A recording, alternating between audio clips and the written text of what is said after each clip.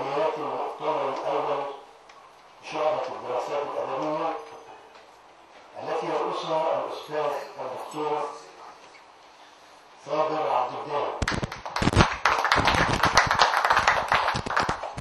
وهذا المؤتمر يأتي تحت عنوان حركة النشر في الهيئات الرسمية والخاصة في مرحلة التحول الثوري ويقام على مدار ساعات هذا اليوم.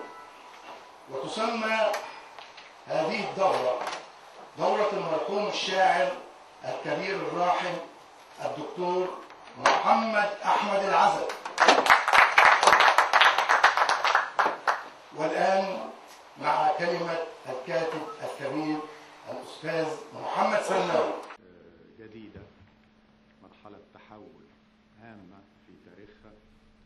كان الاتحاد منذ البداية مواكبا لها ومعاصرا لها ومشاركا فيها. فكما تعلمون كان اتحاد كتاب مصر هو أول نقابة في مصر تصدر بيان تأييد للثورة وتتبنى مطالبها بالكامل وكان ذلك في اليوم التالي مباشرة لقيام الثورة. يوم 26 يناير.